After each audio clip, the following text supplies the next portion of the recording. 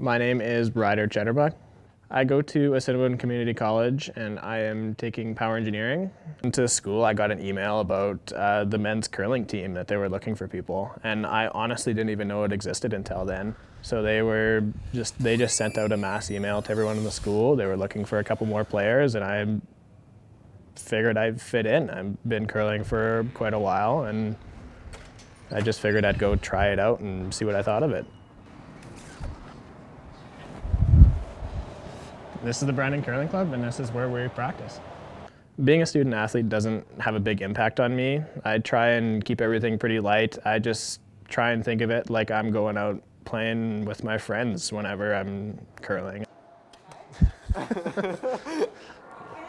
Sorry, dude, I work. And then what happened the other four week, two weeks you missed?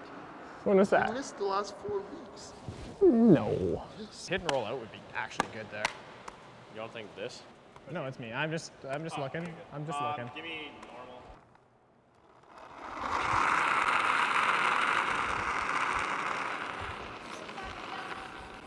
It's not Peel. Not Peel.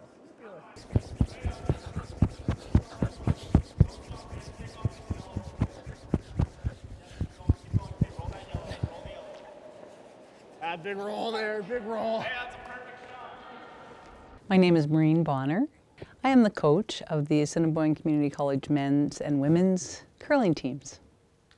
Well, he came out for a tryout uh, in early September, and um, when I saw went through his delivery, he was Yeah, really it's way good. better if it's a two. Um, he had all the aspects of a promising curler, and he also had some background in uh, more advanced curling, which was a real big asset for the club.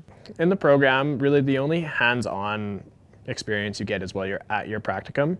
Other than that, while you're in class, it's just you're in your books, you're going through all of that material.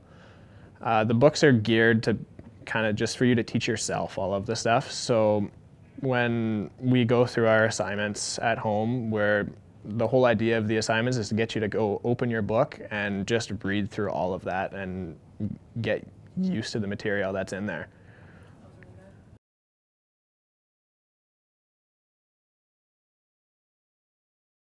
Going to nationals was a really cool experience. I'm I'm not super worried about how the games go right now. I'm kind of just going for the experience to go have fun out there, just see some stuff I haven't seen, meet some new people.